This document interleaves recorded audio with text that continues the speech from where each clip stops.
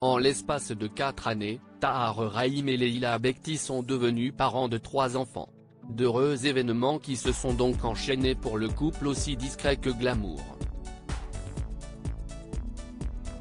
En effet, mariés en 2010, après s'être rencontrés sur le tournage du chef-d'œuvre de Jacques Audiardin Prophète, sorti en 2009, les deux comédiens ont accueilli les naissances de Souleyman, né en 2017, puis d'une petite fille née en 2020 et d'un troisième enfant arrivé un an plus tard.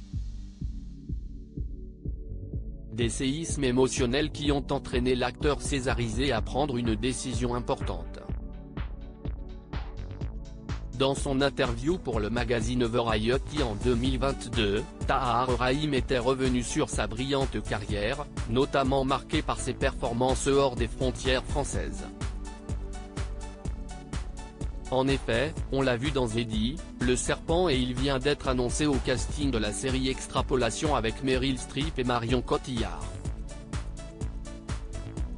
mais lorsqu'on lui demandait d'évoquer ses futures prestations, il avait alors répondu « J'ai deux ou trois projets dont je ne peux pas encore parler. Mais rien ne va se concrétiser dans les deux mois. J'ai besoin d'un temps d'arrêt. J'ai mes enfants et ma femme. Et suis souvent absent à cause du travail. Je ne m'arrête jamais, mais si est ainsi que j'ai été fait? Toutefois, pas question pour lui de s'installer en famille à Los Angeles, il veut rester dans le pays où il est né et où il se sent bien.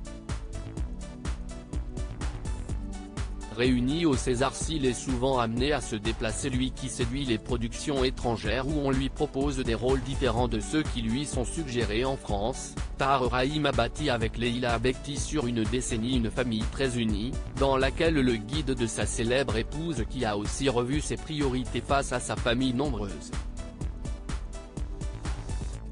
Ils seront dans tous les cas ensemble ce 24 février 2023 à l'Olympia pour la 48e cérémonie des Césars que l'acteur préside et que sa femme co-anime aux côtés d'une foule de personnalités telles que Jamel Debbouze encore Ayaïdara et Jérôme Commandeur. Il va certainement aussi suivre de près le beau projet de Leila Bekti qui souhaite réaliser son premier long métrage, poétiquement intitulé À nous regarder, ils habiteront.